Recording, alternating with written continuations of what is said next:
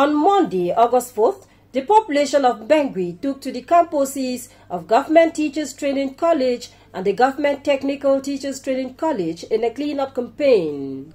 These institutions, crucial for the training of primary and technical school teachers respectively, have been inoperative since the outbreak of the armed conflict in the region. These are schools that the Meta people had long wanted that they should exist in their municipality, but now these schools have been transferred to Bamenda because of the crisis anyway.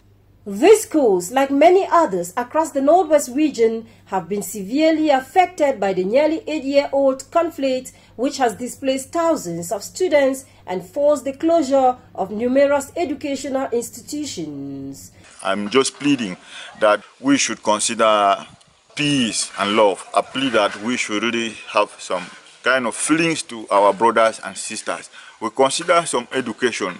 Despite ongoing peace initiatives, the crisis continues to grip the region.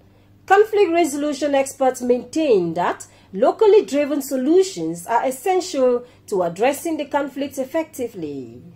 This, the strategies that have been put in place have, to a greater extent, not significantly, impacted the conflict. If the strategies come from without the community, from outside the community, they're not going to work. People want to feel involved in the taking of decisions, in finding solutions to their problems.